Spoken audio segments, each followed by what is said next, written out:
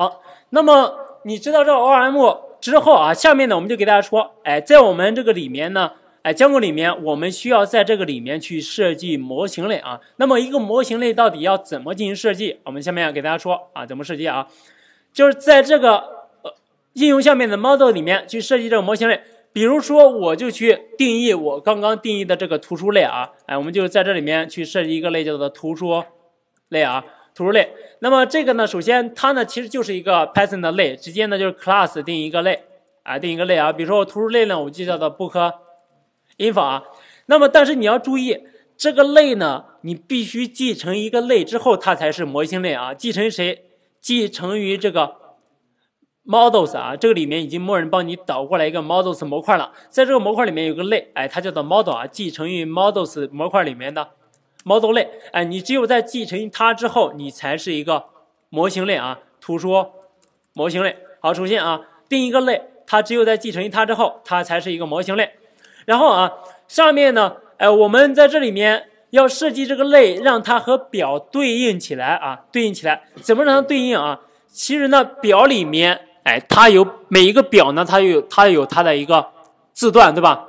那么，哎，怎么去对应这些字段呢？哎，我们就需要在这个模型类里面去定义模型类的类属性。哎，你的类属性呢，就对应着表里面的字段啊。你比如说，我们这里面图书呢，它有一个图书的名称啊，图书名称，哎，我就可以在这里面定一个类属性啊。比如说，我就到 b title，哎，定义这样一个类，然后呢？B title 图书的名字，那我们说我们在设计一个表的时候，那么图书的名字，哎，它应该是不是有一个类型，对吧？这个类型是什么类型？哎，是不是字符串？那么在这里面呢，哎，我们要体现出来这个 B title 它是一个字符串，怎么体现啊？哎，你通过这个 models 里面有一个啊，叫做 char field 啊，通过它来体现出来它是一个字符串。然后，哎，字符串呢，它还应该有一个。长度对吧？那么这个时候呢，你要指定它的长度怎么指定啊？它这里面有个参数叫做 max length 啊。你通过这个选项，你可以指定它的最大长度。你比如说我写一个二十，那么这里面的这个作用呢，哎，它就说明啊，这里面我们这个 b title 呢，哎，这一句的话啊，啊这个哎 char field 呢，注意啊 char field 哎，说明是一个字符串啊，哎，说明哎是一个字符串。好，那么 max length 呢？指定字符串的最大长度啊，max length 指定字符串啊的最大长度。好，那么哎，然后呢，这里面前面的这个 b title 呢，我们就代表图书的名称啊，图书的名称啊，这是 char field 啊，说明是字符串。max length 呢，指定它的最大长度。好，这就是我们定义的一个类属性啊。一会儿呢，它就会对应我们表里面的哎，b title 哎这个字段啊。然后再往下，我们说图书呢，我们刚刚呢还写了一个图书的出版日期。图书的出版日期呢，我们这个属性我们叫做 b pub date 啊。然后写上一个哎这个 b pub date，b pub date 啊。那么这个出版日期应该什么类型？是不是日期类型？对吧？在这里面你要体现出来它是一个日期类型啊。这里面 models 里面有一个叫做 data field 啊，哎，通过它来指体现出来它是一个日期的类型。那么这里面呢，我们就说明这里面呢是一个图书的出版哎日期啊，哎出版日期。那么哎这个 data 啊 data 哎 field 啊，那么说明哎是一个日期类型。啊，类期类型啊，好，说明是一个日期类型。OK，那么当我们通过这里面定义好之后呢，哎，我们现在呢就定义了一个模型类。那么这个模型类呢，哎，它呢就是，哎，它呢里面有两个类属性，一个呢叫 b title，一个叫做 b pub date 啊。哎，我们刚刚说，我们是目的呢，让这个类呢跟我们的数据库里面的表呢进行一个对应。好，现在我们刚刚说，我们表里面还有一个主件叫做 ID，对吧？那么你注意，哎，在我们 Django 里面，这个 ID 呢你不需要定义啊，它呢会帮你呢自动的哎生成啊，自动生成。好，那么现在呢，哎，我们这个模型类就有了，对吧？但是呢，我们这个数据库里面呢，我们现在还没有这个表啊，没有这个表。那么怎么让它去有这个表啊？哎，我们下面你就需要呢，根据这个模型类，让它帮你呢生成数据库里面对应的表。那么，哎，这里面生生成数据库模型类生成表呢，分为两步啊。第一步呢叫做生成。迁移文件啊，生成迁移文件是干嘛的？就是把你这个类里面的这些属性以及它的类型都拿过来，放到一个文件里面。这个文件呢，我们把它叫做迁移文件。然后有了迁移文件之后，下面呢要执行第二步，执行迁移生成表。哎，它呢就是根据你的迁移文件啊，帮你生成数据库里面对应的哎表。你注意注意啊，生成迁移文件之后还没有这个表，你只有在执行迁移。之后，它才会生成数据库里面对应的表。好，那么生成迁移文件它的命令叫什么？叫做 Python Manager Py，直接叫做 Make Migrations 啊。那么这个我们就要给大家看一下啊。哎，这个呢，首先我们给大家看一下啊，我就先把这个项目先停掉，我直接 Ctrl C 可以把它停掉。停掉之后，我们清一下屏幕。我们要给大家说生成迁移文件怎么做啊？直接呢就是 Python Manager Py，还是通过 Manager Py 叫做 Make 啊，Make 制作对吧？Migrations 啊，migrations 代表迁移的意思啊，制作迁移文件啊，你这里面你一回车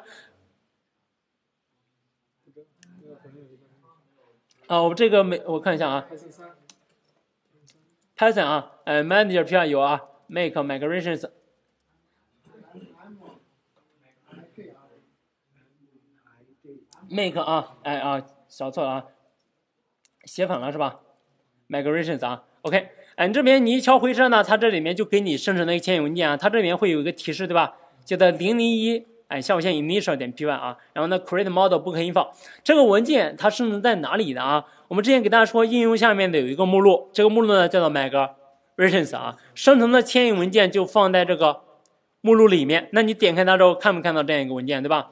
然后呢，点开这样一个文件，这个文件呢就是我们迁移文件。你点开它之后呢，你会看到这里面。哎，这里面看到这里面有 b title char field max length 二十对吧？b pub data 哎，是不是 data field 对吧？哎，这个呢就是通过我们刚刚的这个模型类来的。然后你再会看到它的上面呢还有一个 id 哎，它有一个 id 啊。这个 id 呢，这东西呢是它帮你自动生成的。那你会看到它里面呢还有一个这一项啊叫做 primary key 哎，这个呢我们讲数据库应该说过对吧？它就代表这个组件的意思啊。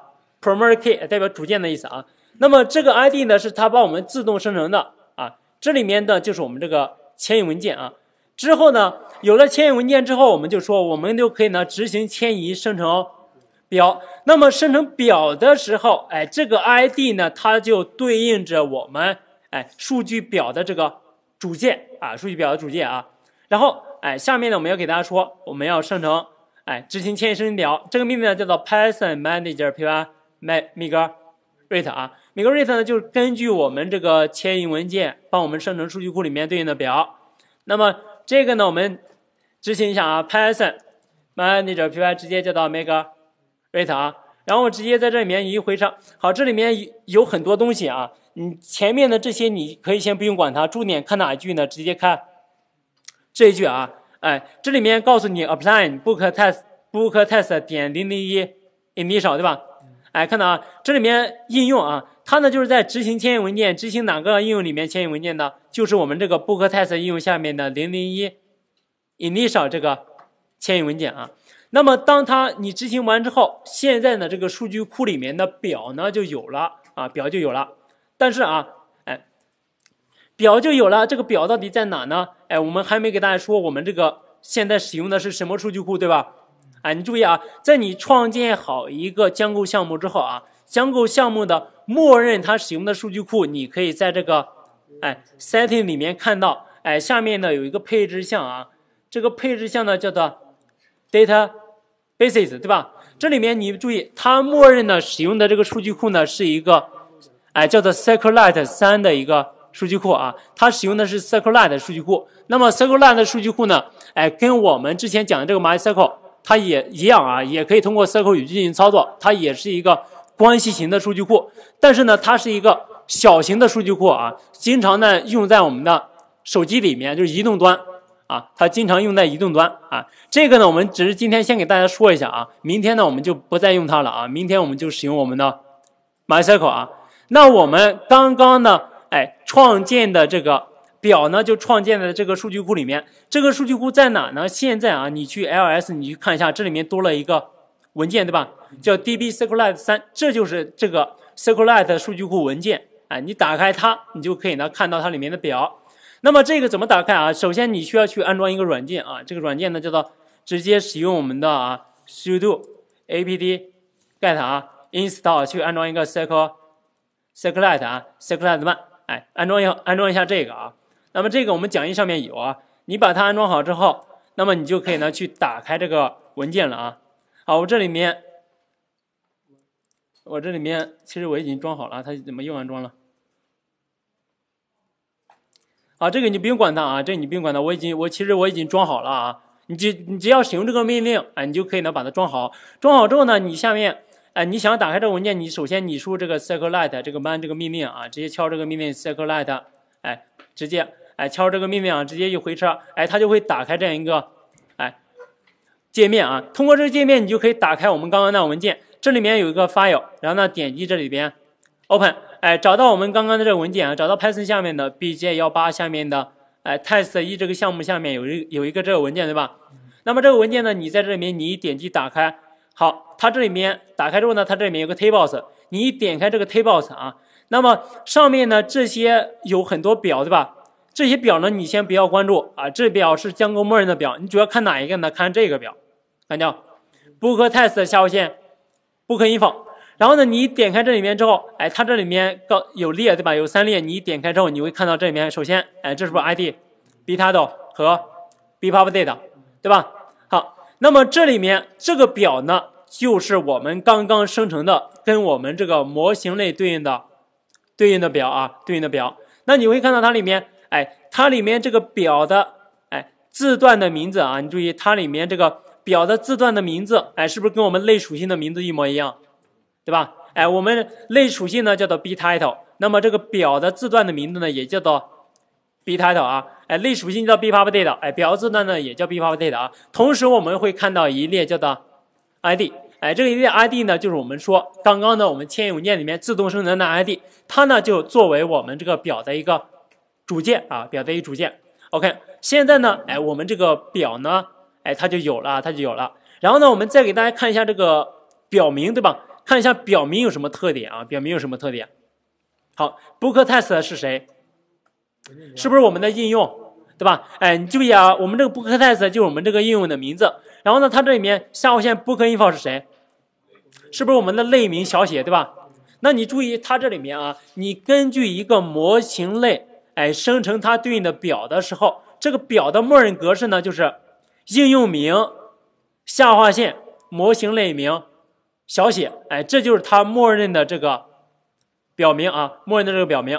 OK，那么这里面，哎，上面呢，哎，就是我们给大家说，哎，在 Django 里面，你使用一个模型的时候要干嘛啊？首先呢，你需要去设计这个模型类啊。那么模型类在哪里面设计呢？就是在我们的应用的 Models 文件中，也就是我们这里面的哎 Models 这个文件，在它里面呢去设计这个模型类。哎那么设计完模型类之后呢？哎，你如果想要去生成和模型类对应的表，那么下面呢，你需要呢，哎，执行两步。第一步呢，叫做生成迁移文件啊。通过这个命令生成迁移文件。迁移文件呢，就是把你类里面定义的这些属性，还有呢，它的一个属性的名字、属性啊，是什么属性？是字符串还是日期啊？把它拿过来，拿过来之后呢，然后呢，再给它自动的生成一列。